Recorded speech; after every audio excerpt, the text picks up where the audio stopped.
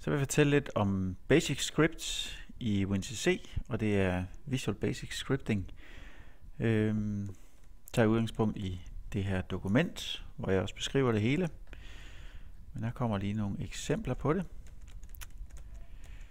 Yes. Jeg har oprettet et lille projekt, bare med en skærm, et komfortpanel.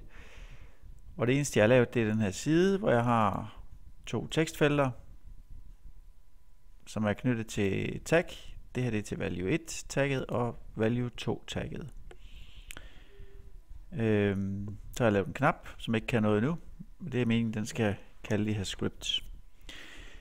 Øhm, man skal ikke lave et script, hvis der er eksisterer en funktion, der kan det i forvejen. Det er jo sådan, at hvis vi trykker på en knap, så kan vi add en function, alt hvad der ligger her, og det kan vi også gøre inden fra vores tags, ændre tagget værdi eller det ene eller andet, jamen så kan vi gå ind og gøre et eller andet, skift skærm, aktivere et bit. Der ligger simpelthen så mange forskellige functions herinde. De her functions kan man også bruge ind i ens eget script, hvis man ønsker at gøre noget af det her, samtidig med at man måske vil gøre noget andet, eller man vil gerne køre flere af de her. Man kan i øvrigt også tilføje flere de her funktioner til det samme e- event, altså klik på en knap. Men vi går ud fra, at vi ikke kan finde den, vi skal bruge, så laver vi vores eget script. Og det er herovre i menuen under scripts, add new function. Sådan der. Så får vi det her billede op. Vi får en ny function. Den kan vi jo bare kalde øh, VB F øh,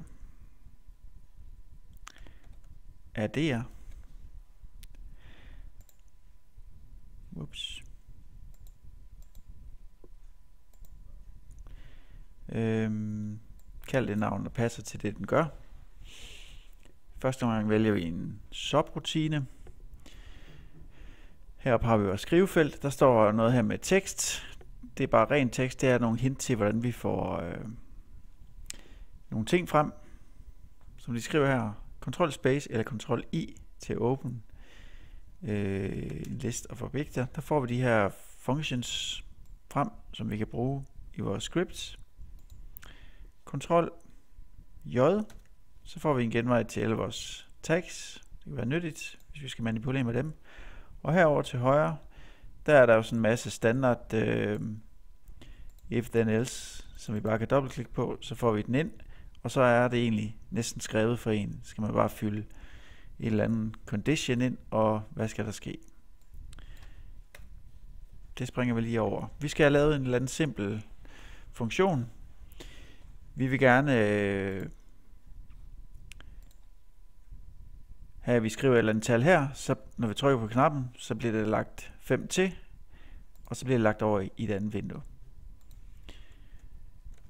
Så den værdi, vi vil have regnet ud, når vi trykker på knappen, det er den værdi, der ligger i value 1, og den skal vi gerne tage med over i vores script. Det helt simple, det vil være at skrive her, kalde vores tag ind, øh, value 1. Nej, så skal vi så have value 2 er lige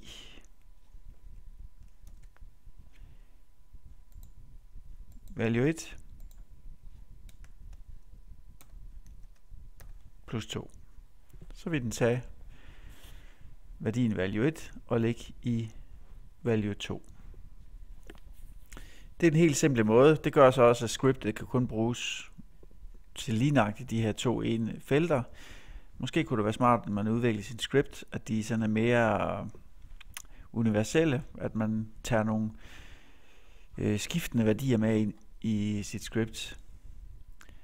Så det næste skridt, det er egentlig her, når vi har en funktion, at vi vælger at sige, at øh, vi tilføjer en parameter, altså en værdi, som vi tager med ind i vores script. Så kan vi fra gang til gang ændre, øh, hvad det er, vi når vi kalder scriptet, det kan vi jo kalde flere gange, hvad er det så for en værdi, vi tager med ind i vores script. Det vil sige herover i vores, når vi vælger her for eksempel på en knap og siger, jamen nu kører vi vores script, så tager vi den her værdi ind, så kunne vi lave en knap mere, så siger, jamen den her knap skal også køre scriptet, men denne gang skal vi tage den her værdi med ind. Så vi tilføjer bare en parameter, nu trykker jeg bare add new. Øh, den kan hedde alt muligt. Den kunne bare hedde valg 1. Og herover der vælger vi, om vi refererer til den, altså, eller om vi ligesom knytter den til selve taggets adresse, eller vi bare tager værdien af det, der er i value 1. Så hvis det står sådan her, så skal vi egentlig bare skrive valid plus 5 bliver så lagt ud i den her value 2. Vi kan lige prøve at se, om det fungerer. Man kan altid køre øh, den her compiler på sit script for at se, om det er i orden. Det er det. Så skal vi lige over vores root screen. Nu har vi lavet vores lille script. Så skal vi vælge, at vi gerne vil kalde det, når vi trykker på den der. Det er Properties, Event. Vi vælger bare et klik.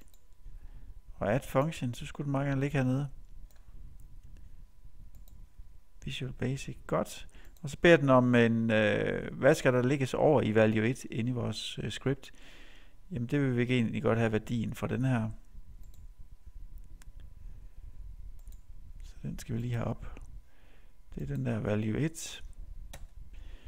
Så når jeg trykker på knappen, så tager den værdien fra value 1, lægger over i val 1, som jo er vores, øh, den værdi her, som vi lægger 5 til, og så ud i value 2.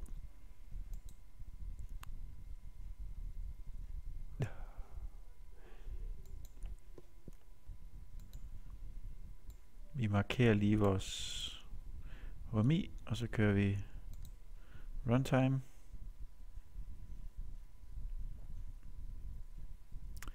Sådan der. Nu skriver vi 10 her. Enter. Altså er værdien ikke inde i tagget. Så prøver vi at trykke. Yes. Så bliver værdien 10 lagt over i vores script. Og så øh, lægger vi 5 til og lægger det ud i value 2. Så det fungerer på den her måde. Nu vil den så altid lægge værdien i value 2, lige når det tag, der hedder value 2. Det, der kunne være lidt smart, det var, hvis vi, øh, når vi kaldte scriptet, selv bestemt, hvor vi vil have resultatet hen. Det gør vi ved at kalde bum, bum, skal vi over vores script. Her, vores script. I stedet for det er en sub, så laver vi det til en function. Ved vi kalder det en function, jamen så kan vi få en returværdi med ud af scriptet. Returværdien, den skal egentlig øh, det er egentlig den her, hvis, i stedet for at skrive, at vi ligger til tagget, jamen så skriver vi her VB F er det her. Altså funktionen VBF er der, får værdien value 1 plus 5. Sådan der. Så i stedet for at lægge direkte ud tagget, så lægger vi simpelthen det i funktionen. Og når vi så vælger vores script, når events, så har vi fået den her, en returværdi. Jamen, hvor skal returværdien lægges?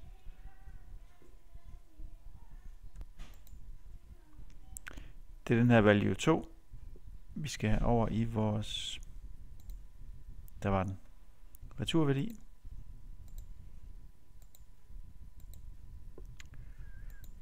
Hvis, så har vi den her value 1, som er vores parameter, og vores value 2 er vores returværdi.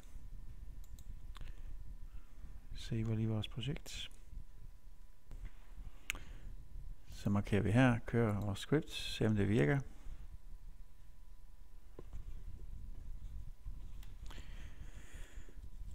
Så prøver vi at skrive 10 her. Tryk på knappen. Yes, det virker så også. Det er en anden måde at lave den her beregning på. Nu er den altså ikke knyttet, det her script er ikke knyttet til nogle bestemte tags. Så hver gang vi kalder scriptet, vælger vi selv, jamen, hvilke felter vil vi bruge som vores input og vores output. Vi kunne have 10 input, hvor vi valgte at sige, at de to 10 skal lægges sammen, lægges ud i en returværdi. Øhm, yes. Det var sådan set det. Saver vi lige.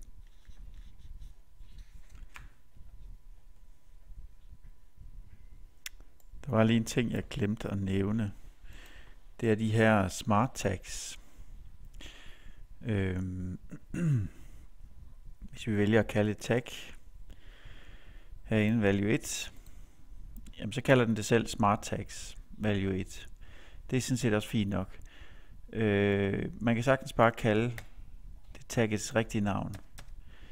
Hvis den overholder, som man skriver, en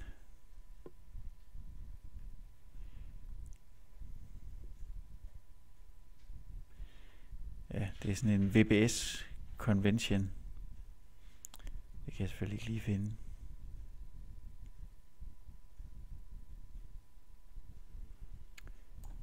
Nå.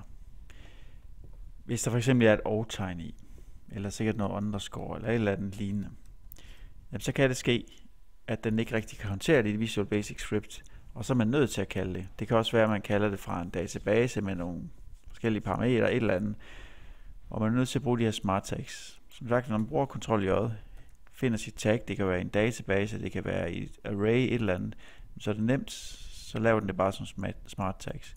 Men man kan som sagt også skrive value 1, og så er det okay, hvis den overholder de her regler for, hvordan et tekst skal skrives.